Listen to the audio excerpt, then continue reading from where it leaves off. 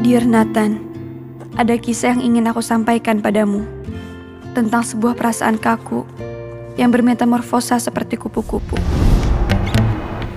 Sal, sal, sal. Lo kurang-kurangin deh berurusan sama model-model kayak Nathan, Giri Ringo gitu. Suram, Sal. Percaya sama gue. Nathan tuh gak gitu-gitu banget kali, Fah.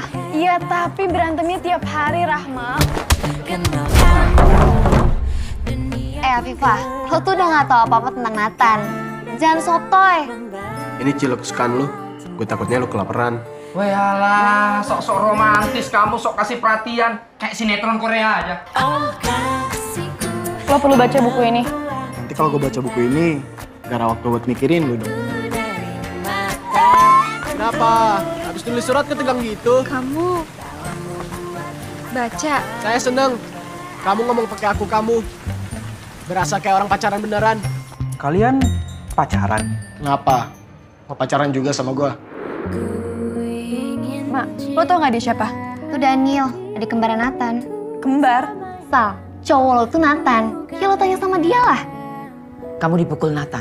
Dia sama papa kamu itu nggak pernah bisa menghargai perasaannya mama.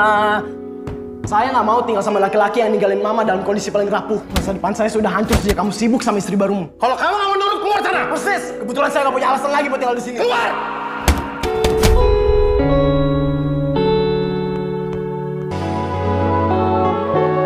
Salma, dia cuma minta maaf. Maafin gue tuh kita gak akan ketemu selamanya.